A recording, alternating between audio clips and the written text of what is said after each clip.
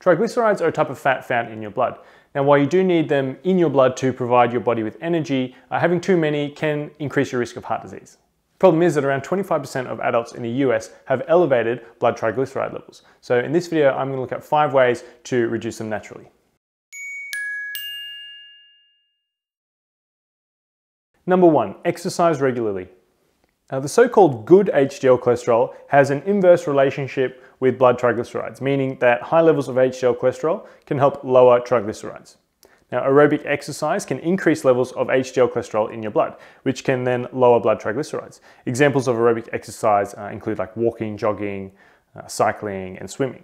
Now, as you'd expect, studies show that aerobic exercise is especially effective at decreasing triglycerides too. The benefits of exercise on triglycerides are most apparent in long-term exercise regimens. Uh, one study showed that jogging for two hours per week over four months led to a significant decline in blood triglycerides. Number two, eat more fiber.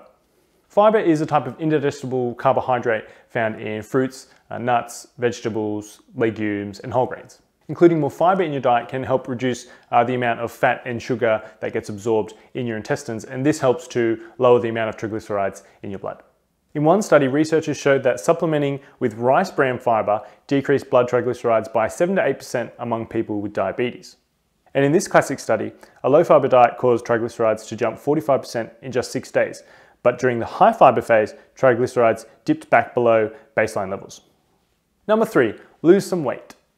Whenever you consume more calories than your body needs, uh, your body turns those calories into triglycerides and stores them in fat cells. That's why losing weight is an effective way to lower your blood triglyceride levels. In fact, research has shown that losing even a modest 5 to 10% of your body weight can decrease blood triglycerides by 40 milligrams per deciliter or 0.45 millimoles per liter. Now, while the goal is to sustain weight loss in the long term, studies have found that weight loss can have lasting effects on blood triglyceride levels, even if you regain some of the weight. This study focused on participants who had dropped out of a weight management program. Now, even though they had regained the weight that they had lost nine months before, their blood triglyceride levels remained 24 to 26% lower. Number four, increase your intake of olive oil.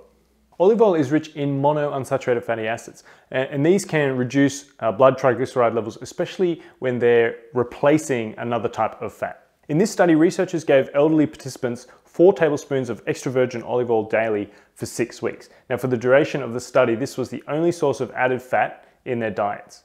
The results show that compared to the control group, uh, those having the olive oil uh, saw a significant decline in triglyceride levels, uh, total cholesterol, and LDL cholesterol levels.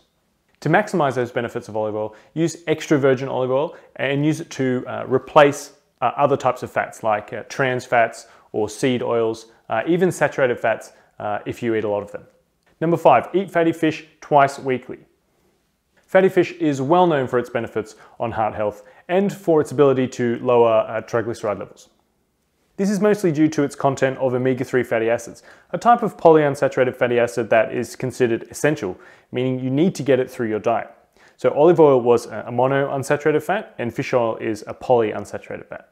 Now both the dietary guidelines for Americans and American Heart Association recommend eating two servings of fatty fish per week. In fact, doing so can decrease the risk of death from heart disease by 36%. A 2016 study showed that eating salmon twice a week significantly decreased blood triglyceride concentrations, increased HDL, and had other huge benefits on blood markers associated with heart disease risk.